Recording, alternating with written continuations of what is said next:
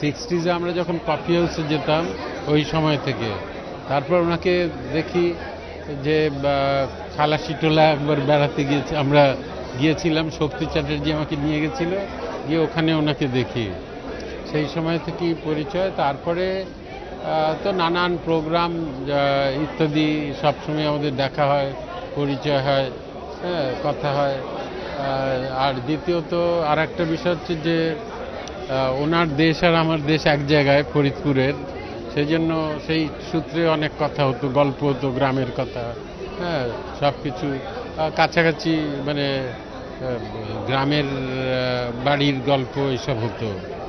তারপর আর একটা হচ্ছে শান্তিনিকেতনে উনি থাকতেন, আমিও ওখানে থাকি। তো যখনই উনি আসেন, তো প্রায় ওনার বাড়িতে গিয়ে আড্ডা হতো। আর তারপরে যেটা সব থেকে বেশি ঘনিষ্ঠতা হওয়ার কারণ হচ্ছে আমরা একটা ফাউন্ডেশন করি, Kolkata international foundation for art literature and culture তার উনি চেয়ারম্যান এবং আমি তখন ম্যানেজিং ট্রাস্টি সেই হিসেবে আমাদের খুব ঘন ঘন কথা হতো, দেখা হতো। ওনার বাড়িতে আমি প্রায়ই যেতাম। গিয়ে বহুক্ষণ ধরে কাজের কথা এবং অন্য গল্প সবই হতো আর কি। নানা রকম বিষয়ে, সমস্ত বিষয়ে আমি খুবই মানে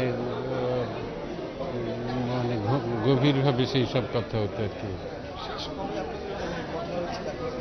আমি তো এই একুশ তারিখ ওনার বাড়িতে গিয়েছিলাম।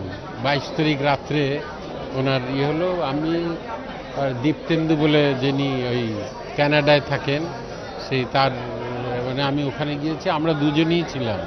ওইখানে অনেক কথা, একটা সিনেমা হচ্ছিল টিভিতে, সাড়ে চুয়াত্তর উনি এবং সাথী, ওনার স্ত্রী দুজনে মিলে দেখছিলেন।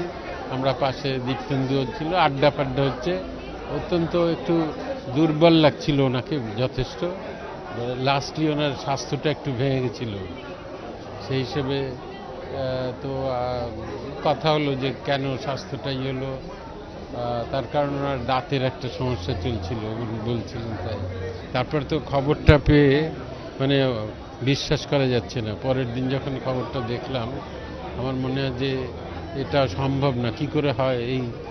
এরকম মনে হলো।